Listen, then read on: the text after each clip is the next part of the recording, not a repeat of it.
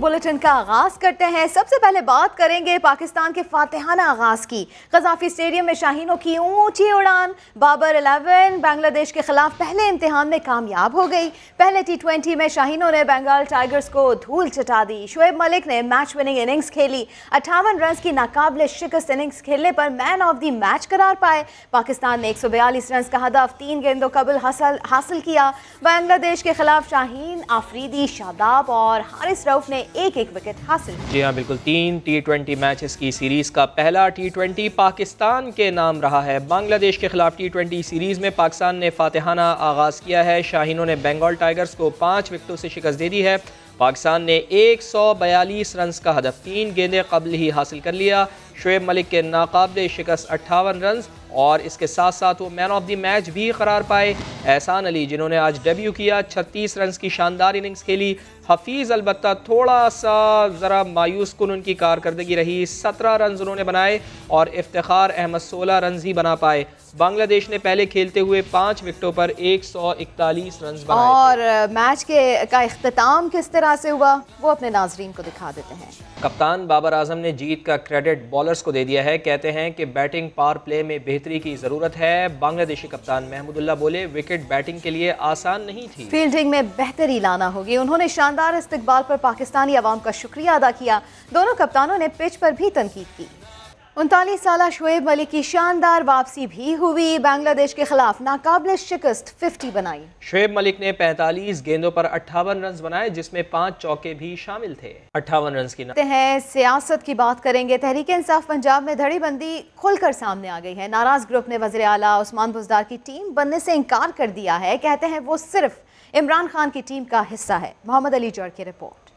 ساری باتیں جو آپ سن رہے ہیں میڈیا پہ اس طرح کی کوئی بات نہیں ہے۔ تمام لوگ ایک پیج کے اوپر ہیں۔ ہمارے اتحادی ہمارے ساتھ ہیں۔ کوئی اس قسم کی بات نہیں ہے۔ انشاءاللہ سب چیز فارورڈ بلاک کوئی فارورڈ بلاک نہیں ہے کچھ بھی نہیں ہے۔ ابھی کل ہی کی بات ہے جب وزیر اعلیٰ پنجاب پارٹی میں گروپ بندی کی خبروں کی تردید کر رہے تھے۔ آج اسی گروپ کے رکن نے پارٹی میں دھڑے بندی کی نہ صرف تصدیق کر دی بلکہ بتا دیا کہ بیس ارکان عثمان بزدار کے ساتھ نہیں ہیں۔ ہم عثمان بزدار کی ٹیم میں لوگ ناٹ آپ کی ہم ہم نہیں۔ ہم پریشر گروپ پہلے بھی واضح کر چکا ہے کہ وزیر اعلیٰ کی تبدیلی کے حوالے سے وہ صرف وزیر اعظم کی ہدایات کو مانیں گے۔ ہم آنریبل پرائم منسٹر کے فیصلے کو اوبے کریں گے۔ ہم پارٹی ٹکٹ منتری کو کرائیں ان کے فیصلے۔ سردار شہاب نے بتایا کہ آج ان کے گروپ کی میٹنگ ہوگی، جس کے بعد وہ وزیر اعلیٰ سے بھی ملیں گے اور انہیں اپنے مطالبات بتائیں گے۔ وزیر ریلوے شیخ رشید احمد کہتے ہیں کہ عثمان بزدار کو عمران خان کا مکمل اعتماد حاصل ہے۔ حکومت اور فوج ایک پیج پر ہیں۔ عمران خان پانچ سال پورے کریں گے۔ شیخ رشید نے ٹرانسپیرنسی انٹرنیشنل کی رپورٹ کو حکومت کے خلاف عالمی سازش قرار دے دیا۔ وہ سما کے نمائندہ خصوصی عباس شبیر کو انٹرویو دے رہے تھے۔ عثمان بزدار کو کہاں پر دیکھتے ہیں؟ فارورڈ بلاک بھی پنجاب میں بنا۔ دیکھیں عثمان بزدار ایک نیا آدمی ہے ایک نیا چہرہ ہے اس کی پہلی منسٹری ہے اور پہلی دفعہ ایک چیف منسٹر بنا ہے تو سازشیں تو ہوں گی لیکن عمران خان اس کے ساتھ کھڑا ہے۔ اور میں بالکل ان افواہوں کی تردید کر رہا ہوں کہ عمران خان نے بزدار سے ہاتھ اٹھا لیا آج بھی عمران خان بزدار کے سر پہ اس کا ہاتھ ہے اور وہ اس کو چلا رہا ہے۔ شیخ صاحب موجودہ سیاسی صورتحال کو اتنے بحران کا سامنا ہے حکومت کو۔ کیا دیکھتے ہیں؟ سیاسی صورتحال ٹھیک ہے جی مہنگائی ہے بے روزگاری ہے آٹے کا بحران ہے اس پہ انشاءاللہ آٹھ سات دن میں قابو ہو جائے گا اور مسئلے ٹھیک ہو جائیں گے۔ عمران خان کو جن بحرانوں کا سے واسطہ پڑا ہے اس نے بمشکل ابھی اس پہ کنٹرول کیا ہے اور وہ تو کہتے ہیں کہ دو ہزار بیس لیکن میں کہتا ہوں دو ہزار اکیس میں مکمل کچھ کنٹرول ہلکے کہتے ہیں کہ حکومت جانے والی ہے۔ یہ تاثر کیا ہے؟ پہلے دن سے ہم آئے ہیں لوگ یہی تاثر دے رہے ہیں ہم جا رہے ہیں۔ عمران خان اپنے پانچ سال پورے کرے گا انشاءاللہ تعالی۔ عمران خان کے اور عسکری اداروں کے تعلقات کو کس نظر سے دیکھ بہتر ہیں اچھے ہیں مل جل کر کام کر رہے ہیں۔ اور کل ڈیووس میں بھی پرائم منسٹر نے کہا کہ ہمیں عسکری اداروں کی مکمل حمایت حاصل ہے۔ اور یہ پہلی مرتبہ ہے میرا خیال ہے کہ اس طرح کھل کر عسکری ادارے جو ہیں وہ ایک سویلین گورنمنٹ کے ساتھ کھڑے ہیں۔ ورنہ تو یہ جو سٹیبلٹی نظر آ رہی ہے اس کی ایک بڑی وجہ یہ بھی ہے کہ فوج ہمارے ساتھ کھڑی ہے۔ اور ہماری سپورٹ میں کھڑی ہے ورنہ تو شاید مسائل پیدا ہو جاتے۔ ہیں کچھ ہلکے کہہ رہے ہیں کرپشن کے حوالے سے جو رپورٹ آئی ہے وہ لنڈن سے سازش ہو رہی ہے۔ کیا نواز شریف اتنے سیاسی طور پر مضبوط ہیں کہ وہ لنڈن سے بیٹھ کے سازش کر رہے ہیں؟ دیکھیں عمران خان کو جو کریڈٹ جاتا ہے اس سے زیادہ ایماندار وزیر اعظم نہیں کوئی آ سکتا۔ اور یہ ایماندار حکومت ہے جو کچھ ہوا ہے جو کچھ یہ اسٹیٹمنٹ آئی ہے آج کل میڈیا کے ذریعے بات چلانا کوئی مشکل کام نہیں ہے۔ اور یہ واقعی سازش ہوئی ہے ایک بین الاقوامی سازش ہے عمران خان اور اس کی گورنمنٹ ایک آنےسٹ گورنمنٹ ہے اور اس پر اس قسم کا کوئی الزام نہیں لگ سکتا۔ نواز شریف چلے گئے شہباز شریف بھی واپسی کا کوئی راستہ نہیں ہے۔ شہباز شریف تو مہینے ڈیڑھ مہینے میں شاید آئے لیکن نواز شریف السلام علیکم کر گئے۔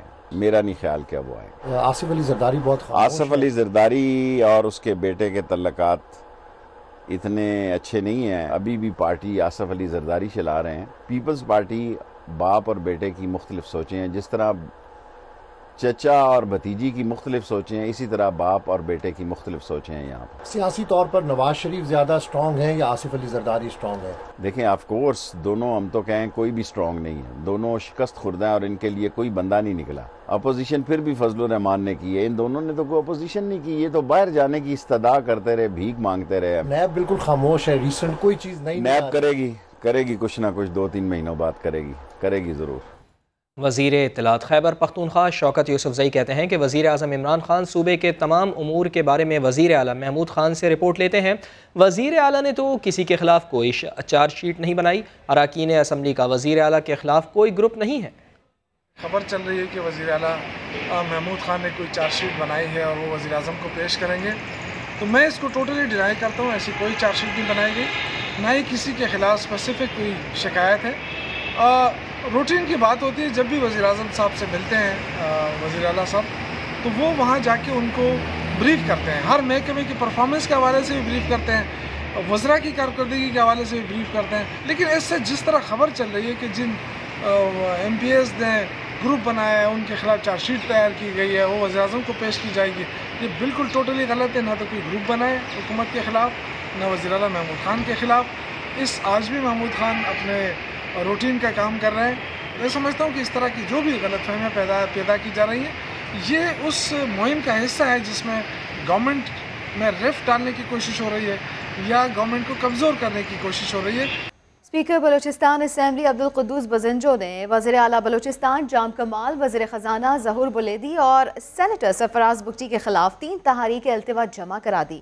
کوئٹہ میں گفتگو کرتے ہوئے قدوس بزنجو کا کہنا تھا کہ اسپیکر کے خلاف بیان بازی آئین کی خلاف ورزی ہے۔ وزیر اعلیٰ وزیر خزانہ اور سفراز بکٹی کے بیانات سے استحقاق مجروع ہوا۔ انہوں نے معاملہ استحقاق کمیٹی کے حوالے کرنے کا مطالبہ کیا۔ قدوس بزنجو کا کہنا تھا کہ اس سے بدتر حکومت انہوں نے بلوچستان بلوچستان کی تاریخ میں نہیں دیکھی۔ وزیر اعلیٰ کی تبدیلی ضروری ہو گئی ہے۔ بی اے پی ختم نہیں ہو رہی، ایسا بھی انہوں نے کہا۔ اسپیکر کے خلاف بات کرنا، آئین کے خلاف بات کرنی کے مترادف ہے۔ میں نے قدم مطلب جو اٹھایا ہے، میں اس پہ پیچھے نہیں ہٹوں گا اور گورنمنٹ بنانے میں مجھے مجھے مشکلات نہیں ہے، لیکن میں کہتا ہوں کہ ہم نے جو ایک نیک نیتی سے ایک پارٹی بنائی ہے اس پارٹی کو خراب کرنا نہیں چاہتا ہوں۔ گورنمنٹ مسئلہ نہیں ہے۔ گورنمنٹ اگر کہتے تو کل ہی بنا نے خصوصی فردوس عاشقابان نے ٹرانسپیرنسی انٹرنیشنل کی رپورٹ مسترد کر دی۔ کہتی ہے بے بنیاد رپورٹ پر اپوزیشن پروپیگنڈا کر رہی ہے۔ ٹرانسپیرنسی انٹرنیشنل پاکستان چیپٹر کے سربراہ نے گزشتہ دور میں نون لیگ کی حکومت کو پذیرائی بخشی تھی۔ اس پر انہیں سفیر کے عہدے سے نوازا گیا تھا۔ انہوں نے کہا کہ رپورٹ متعصبانہ اور مایوسی پھیلانے کا ٹارگیٹڈ ایجنڈا ہے۔ ڈیبیٹ چل رہی ہے، اس ٹرانسپیرنسی انٹرنیشنل کی اپنی ٹرانسپیرنسی جو ہے، اس پہ بہت بڑا سوالیہ نشان ہے۔ ڈیٹا ترتیب دینے والے جو افراد ہیں، وہ تمام گٹھ جوڑ جو ہے، وہ عوام کے سامنے ایکسپوز ہونا ضروری ہے۔ کرپشن کو کم کرنے کے حوالے سے ایک ایسا سنگین مزاق نامہ اس رپورٹ میں ریفلیکٹ کیا۔ کون مانے گا اس رپورٹ کو؟ جو اس رپورٹ کے اندر یہ کہا گیا کہ سب سے زیادہ کرپشن مشرف دور میں ہوئی، پھر عمران خان کے دور کو زیر بحث لایا گیا۔ اس کے بعد پیپلز پارٹی کا نمبر اور پی ایم ایل این کے دور میں سب سے کم۔ کو پاکستان کی عدالتیں کرپشن کنگز قرار دے رہی تھی ان جماعتوں کے حوالے سے یہ رپورٹ جو ہے کلین چٹ دیتی ہے۔ اس کا مطلب یہ ہوا کہ یہ فیئر فری ٹرانسپیرنٹ رپورٹ نہیں ہے۔ مسلم لیگ نون کی رہنما عثمہ بخاری کہتی ہے کاش نئے پاکستان والوں کو پڑھنے لکھنے سے دلچسپی ہوتی، انہیں اتنا نہیں معلوم کہ ٹرانسپیرنسی انٹرنیشنل کی رپورٹ برلن سے جاری ہوئی۔ سما سے گفتگو میں انہوں نے کہا کہ حکومتی اتحادی بھی کہہ رہے ہیں کہ کرپشن ریٹ بڑھ گئے، جو کل پانچ سو مانگتا تھا، وہ آج عمران خان کے نام پر پانچ ہزار مانگ رہا ہے۔ یہ جو تبدیلی کا نیا پاکستان ہے، اس کا کچھ پڑھنے لکھنے سے یا حقائق سے کو لینا دینا ہوتا۔ ان کو شاید بے وقوفوں کو اتنا نہیں معلوم کہ یہ ٹرانسپیرنسی انٹرنیشنل کی رپورٹ جو ہے، یہ برلن سے جو ہے ان کے ہیڈ کوارٹر سے جاری ہوئی ہے اور اس کا ایک پورا سائنٹیفک میکنزم ہے۔ مختلف پانچ انٹرنیشنل جو آرگنائزیشنز ہیں، انہوں نے اس کے اندر اپنی رپورٹس دیں اور وہ رپورٹس کے مطابق جو ہے یہ ترتیب دیا گیا ہے یہ ٹرانسپیرنسی انٹرنیشنل کا سروے سو یہ بیچارے جو ہے یہ جو مرضی کہتے رہے زلفی بخاری کا کیس ہو، یہ آٹا مافیا، چینی مافیا کی بات ہو، خود ان کے اتحادی کہہ رہے ہیں کہ کرپشن کے ریٹ میں اضافہ ہو گیا ہے اور پانچ سو جو ہے وہ پیسے مانگنے والا پچاس ہزار عمران خان کے نام پہ مانگتا ہے۔ تو یہ نیا پاکستان ہے، آنکھیں بند کر کے جو ہے وہ حقائق سے چھپا نہیں جا سکتا۔ تحریک انصاف کے رہنما ڈاکٹر بابر اوان نے ٹرانسپیرنسی انٹرنیشنل کی رپورٹ ناقابل اعتبار قرار دے دی۔ سماج نمائندہ خصوصی عباس شبیر کو انٹرویو میں کہا کہ سولہ ماہ میں تو کسی حکومتی رکن کی کوئی کرپشن سامنے نہیں آئی۔ ٹرانسپیرنسی انٹرنیشنل کے خلاف قانونی کارروائی اس صورت میں ہو سکتی ہے جب اس نے کسی شخص یا ادارے کا نام لیا ہو۔ بابر اوان نے آٹا بحران سے بھی انکار کر دیا۔ جاپان کے سینئر ڈپٹی وزیر برائے امور خارجہ نے army chief general Qamar Javed Bajwa سے جی ایچ کیو میں ملاقات کی ہے۔ بات کریں گے عثمان خان سے۔ عثمان خان، بتائیے گا اس ملاقات کا احوال۔ ہاں جی بالکل۔ جاپان کے سینئر ڈپٹی وزیر امور خارجہ جو ہے وہ پاکستان کے دورے پر ہیں اور وہ آج جی ایچ کیو میں جہاں پر army chief general Qamar Javed Bajwa سے ان کی ملاقات ہوئی ہے۔ آئی ایس پی آر کے مطابق اس ملاقات میں باہم دلچسپی کے امور خطے کا تعاون اور علاقائی صورتحال پر تبادلہ خیال کیا گیا ہے۔ خطے میں تنازعات کے خاتمے کے لیے مہمان وزیر نے پاکستان کے کردار کی تعریف کی اور اس ملاقات میں دونوں ممالک نے باہمی تعلقات کو فروغ دینے کے عزم کا اعادہ بھی کیا ہے۔ بہت شکریہ عثمان خان آپ کا۔ عوام ہی نہیں، عوامی نمائندے بھی آلودہ پانی پینے پر مجبور ہے P C R W R report میں انکشاف ہوا ہے کہ پارلیمنٹ ہاؤس اور لاجز کے آٹھ مقامات کا پانی آلودہ ہے۔ بات کریں گے ظہیر علی سے۔ ظہیر علی، بتائیے گا رپورٹ میں مزید کیا باتیں سامنے آئی ہیں؟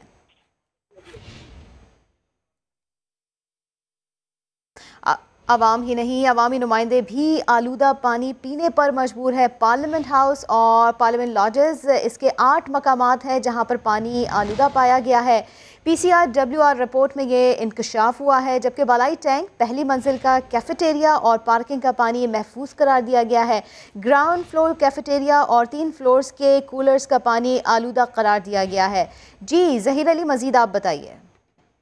جی بالکل P C R W R کی جانب سے جو رپورٹ سامنے آئی ہے اس میں بہت بڑا جو الارم سچویشن یہ ہے کہ دو جو بڑے وان ہیں پارلیمنٹ ہاؤس اور جو ان کی جو رہائش کا ہیں پارلیمنٹ لاجز دونوں میں گیارہ مقامات پر پارلیمان جو سیمپل لیے گئے تھے پانی کے اس کو آلودہ قرار دیا گیا ہے اور آلودہ پانی میں پینے کے حوالے سے اب جو پارلیمنٹیرین کی رہائش گاہ ہیں وہ بھی محفوظ نہیں ہے پارلیمنٹ ہاؤس محفوظ نہیں ہے پارلیمنٹ لاجز محفوظ نہیں ہے اور گیارہ سیمپل لیے گئے پارلیمنٹ ہاؤس کے جس میں سے سات کو جو ہے آلودہ قرار دیا گیا اور پارلیمنٹ لاجز سے چار سیمپل لیے گئے جن میں سے تین کو P C R W R کی جانب سے آلودہ قرار دیا گیا ہے۔ اور جو جو P C R W R کی رپورٹ ہے اس میں یہ کہا گیا ہے کہ جو فلٹریشن پلانٹس ہیں اور جو پانی فراہم کیا جا رہا ہے پارلیمنٹیرین کو وہ آلودہ ہے اور وہ آلودہ ہے۔ بہت شکریہ ظہیر علی۔ اپڈیٹ کیا آپ نے؟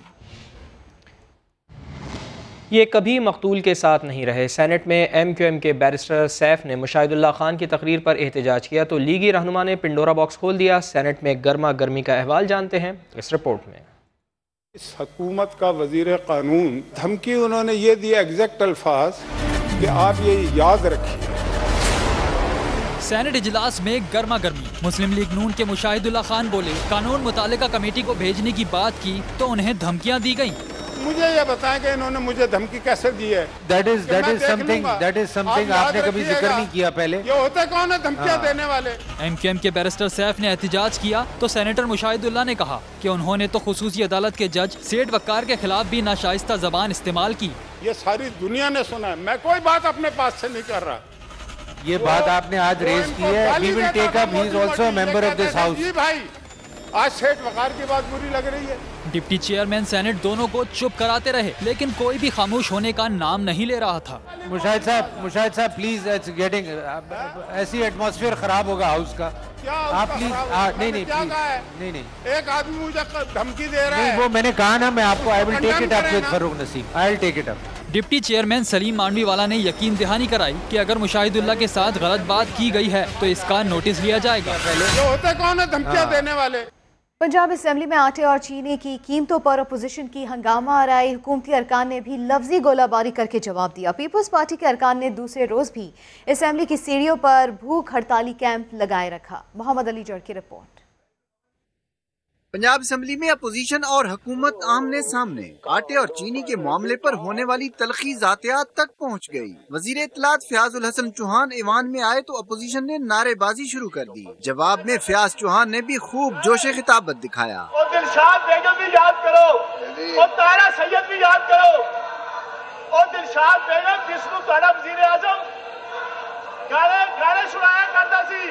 پیپلز پارٹی کے حسن متضہ کی طرف سے مہنگائی اور آٹا بورہان پر گزشتہ رات سے شروع ہونے والا احتجاج بھی جاری رہا۔ مسلم لیگ نون کے متعدد ارکان نے ان کے ساتھ اظہار یکجہتی کیا۔ جو ذمہ داران ہیں جہانگیر ترین اور خسرو بختیار ان کے بیالیس فیصد چینی جو ہے کا کنٹرول سارا ان کے پاس ہے اور انہی کے اوپر کمیٹی بنا دی گئی۔ وزراء نے حسن مرتضی سے مذاکرات کے بعد انہیں چائے پلا کر بھوک ہڑتال ختم کرا دی۔ بعد میں اجلاس پیر کی سپہر تین بجے تک ملتوی کر دیا گیا۔ کیمرامین لیاقت بشیر کے ساتھ محمد علی سمال لاہور۔ وزیر اعظم کے معاون خصوصی برائے احتساب شہزاد اکبر نے ویڈیو بیان میں کہا ہے کہ تحریک انصاف کی حکومت کرپشن کے خلاف عملی اقدامات کر رہی ہے۔ ٹرانسپیرنسی انٹرنیشنل صرف پریشر گروپ ہے بات کریں گے عباس شبیر سے۔ عباس شبیر بتائیے گا شہزاد اکبر نے مزید کیا کہا؟ دیکھیں ٹرانسپیرنسی انٹرنیشنل کی رپورٹ پر حکومت کا یہ پیغام واضح ہے کہ اس رپورٹ یہ ایک سلانٹڈ رپورٹ ہے اور اس رپورٹ میں کوئی صداقت نہیں ہے۔ معاملے خصوصی شہزاد اکبر کی طرف سے بتایا گیا ہے کہ ٹرانسپیرنسی انٹرنیشنل کی رپورٹ میں اپوزیشن بکرے بچا رہی ہے۔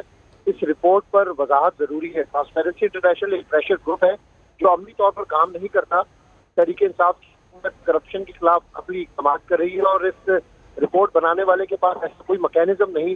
کہ اس چیز پر بلیو کیا جائے کہ پاکستان میں کرپشن بڑھ گئی ہے۔ جی۔ طرح حکومت ٹرانسپیرنسی اور اب ان کا ویڈیو بیان سامنے آیا ہے۔ عباس شبیر شکریہ آپ کا۔ بریک کے بعد دوبارہ حاضر ہوں گے ہیڈ لائنز کے ساتھ۔ آپ دیکھتے رہیے سما۔